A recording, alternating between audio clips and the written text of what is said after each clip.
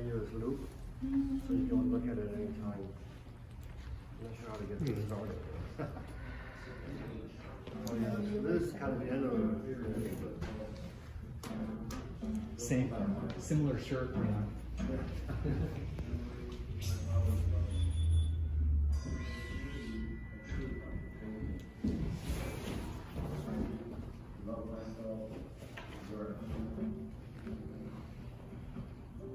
うん。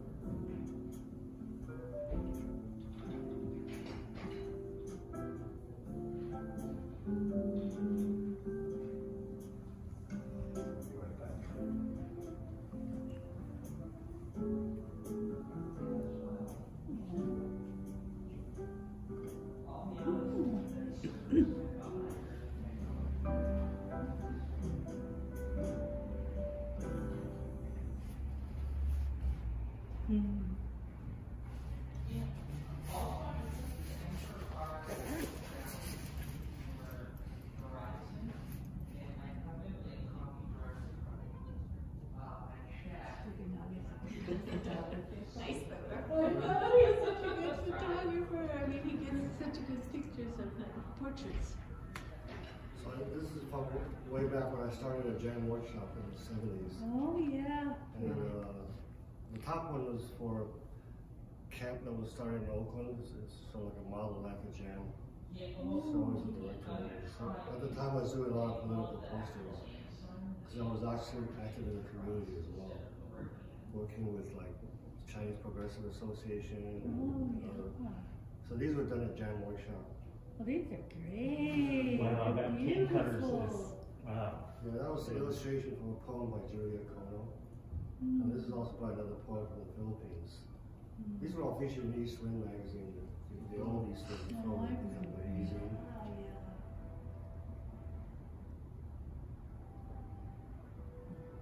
we became remember. the Easy. Yeah. And this is the illustration from Mars Estrada's poem, Oh. 1980s. Yeah. How's Mars? I'm not Is sure. Mars still around? I'm sorry? Mars Estrada, is still around? He's still around. He's, I think he's doing some photography now too. Oh. I was uh, with Katya Puna back in the day. You remember that one, right? Oh, yeah.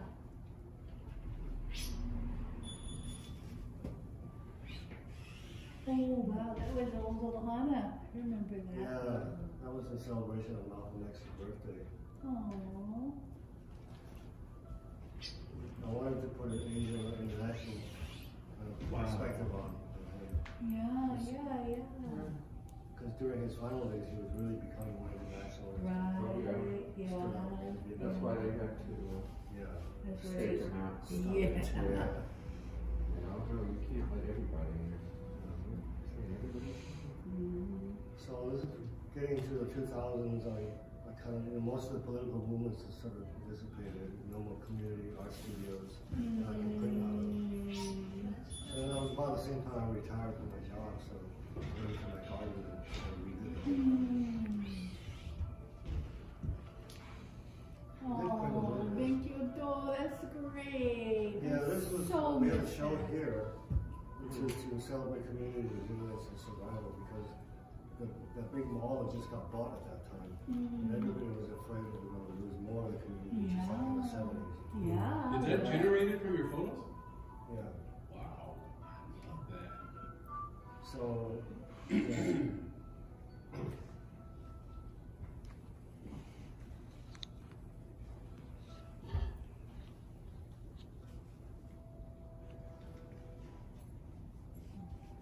So a lot of these were based on the Chinese um, taotie mask from the, bronzes. And they had the designs of two, two profiles facing to make the frontal face. And nobody's figured out what that really meant yet, so I took liberties with it and said, well, this is my version of it. But I also wanted to pay attention to, to my dreams and intuition. Sort of you know, decolonization in a way, not going for the Western scientific rational mind where you know, if you don't see something, therefore it doesn't exist. Oh, that's so cool. Yeah, hmm. So a lot about dreams and nightmares maybe. Excuse me. Get in there. I wanna get in there. Yeah, I Whoa, love that. yeah. Oh, that's a good one. That was one of my favorite birds. Next to pelicans. Crows are standing there.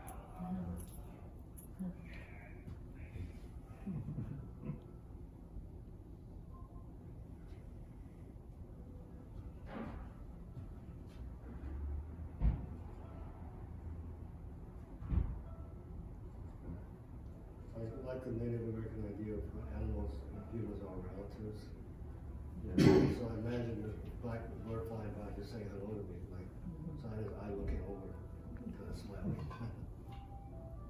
Can you, can you talk from over there so I can get the view to the, with that, uh, inside? There you go. That's good. Just- I want you look at it, tell. Yeah, yeah, yeah. Keep talking. Wow. So this is like a, the Chinese breaststroke and repeated the same pattern. Again, it's my idea of cross-cultural fertilization. I always felt a lot of affinity with native arts, especially from the Pacific Northwest. This started out as a different drawing. I wanted to do the feather patterns on a crow, but it, it morphed into a whale instead. uh, this is kind of like the Taoist idea of little things being very important, just as important as big things. This was in my response to watching the movie The Cove, where the dolphins are being slaughtered. And I want to say something, but I don't want to get into gory details, so I just have him continuing to live. You know, art is a art is a redemption. Uh, like I like to distill things down to an essen- essential. So I really love the penguin pattern. It's like, well, how can I do that in print? So, again, small things matter. Like I do some photography too, so there's like macro photography, and the whole new world opens up when you look at things in detail. It's just straight up like love of Buddhism.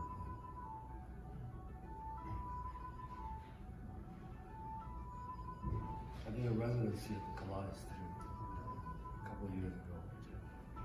This is also from a Buddhist parable about a monk who was meditating on a lake and a boat bumped into him. He got really angry until he saw that there's nobody in the boat, and his anger completely went away, and he realized, oh, this is all just in myself.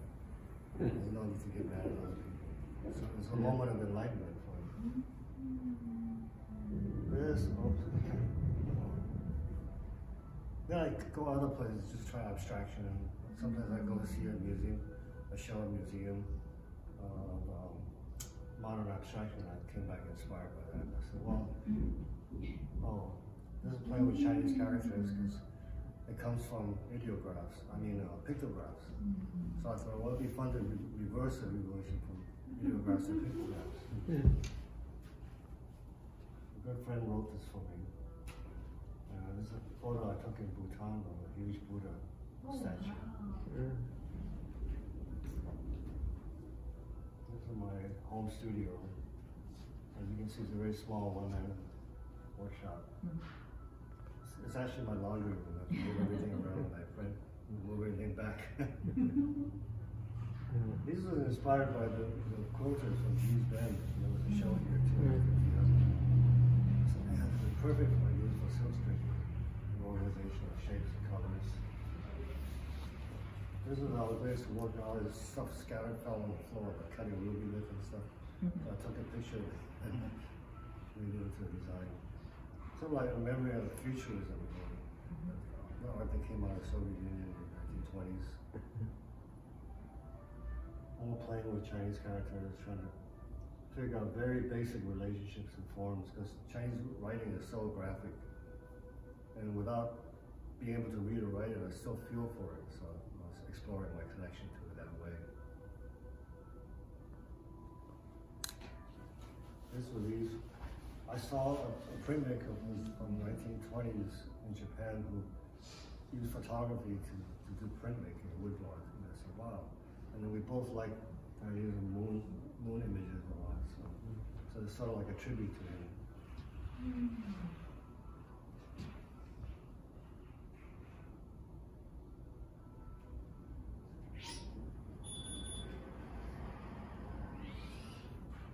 These are mostly photos I took on my morning walks with my dog. Hey, Ken.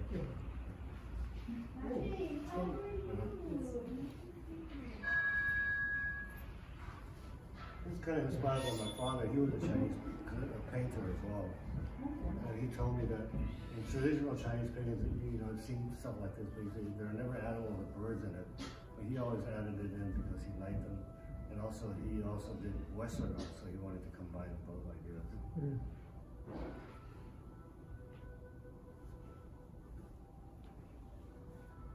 This is inspired by actually by a new friendship I made with somebody who was 20 some years old. And we mentally, we clicked so well, and I was just amazed at how well we could get along. So, I'm the old turtle.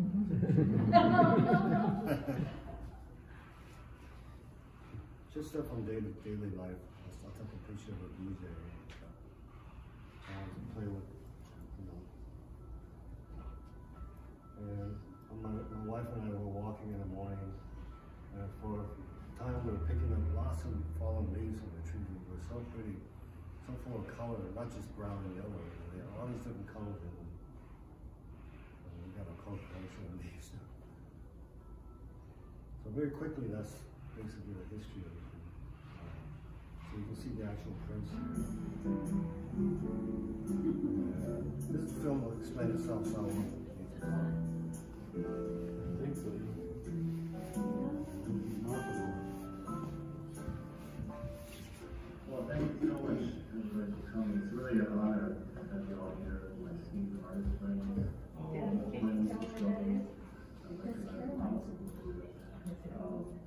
Sure is.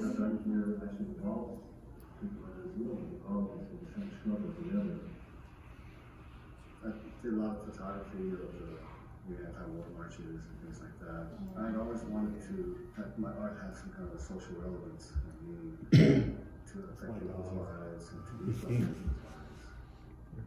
I was going to school, I was into Asian American studies, and there was a whole movement about going to the community.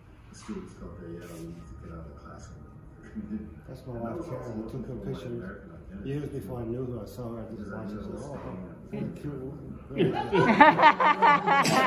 took the picture and forgot about it because I just saw tons of other pictures. Mm-hmm. And, and then some 20 years later, they had a show here for the Asian American movement. It's going back to these pictures.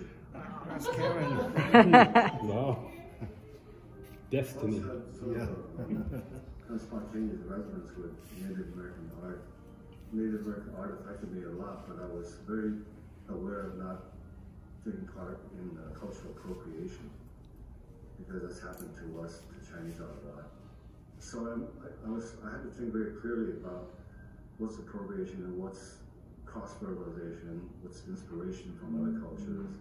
And I researched into my Chinese art and found, you know, found huge similarities with native concepts, with spirituality, relations to animals, and mythology and stuff. and that's why my first series of prints was called Animals, And Dreams.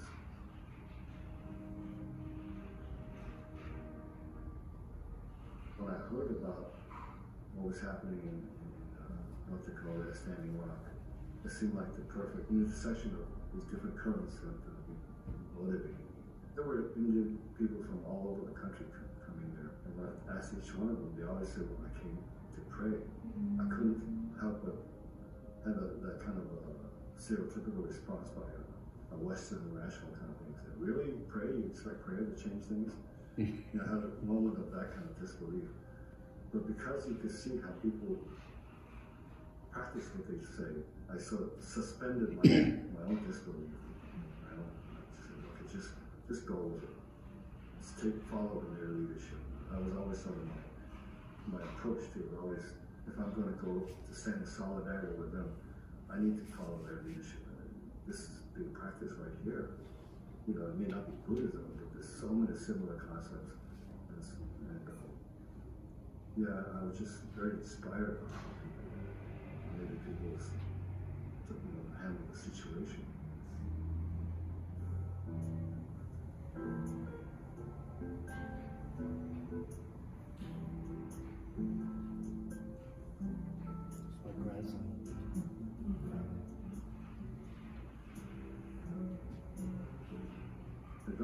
Looking back on it, I think is actually really crucial in my changeover from political activism to more spiritual seeking. While at the same time not, not rejecting the political activism, but, but I was trying to see how I can incorporate it all into a cohesive, um, a cohesive and coherent whole for myself live my life. I, I look towards more spirituality and to sort of frame my own life and find answers to questions, you know. Well, how can we change to make things better? Politics was one way, but we needed more change from the inside. Curating that show myself was a trip in itself. You know, what it meant to me, what to keep it, what to throw out, what was important. What makes the thread, the thread of my life story. What's extraneous?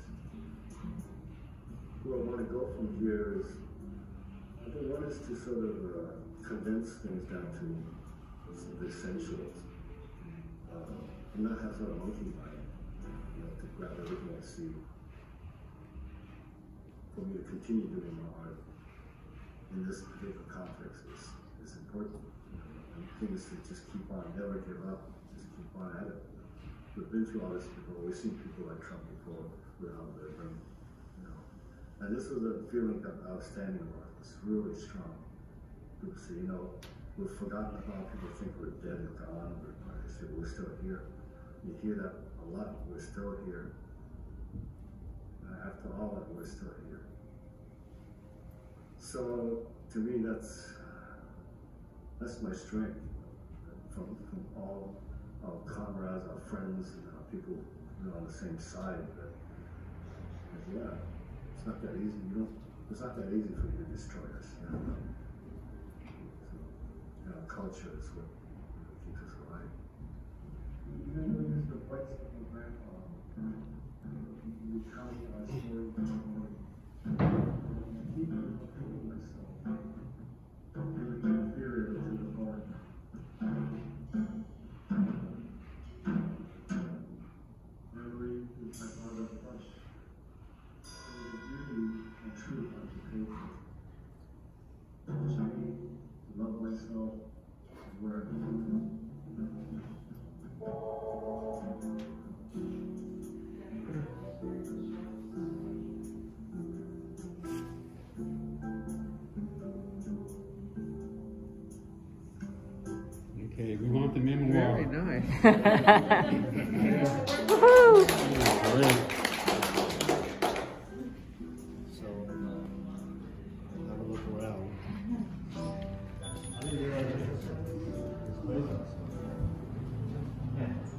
Uh, outside.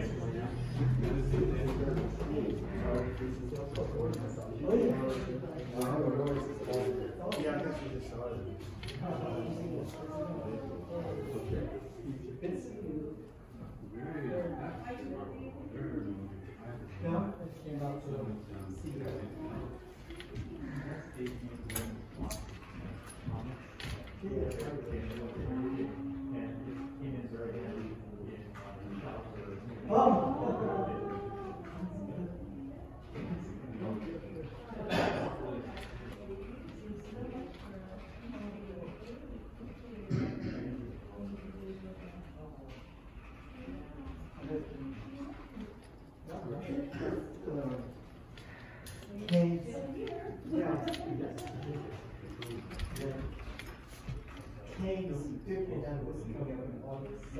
helping.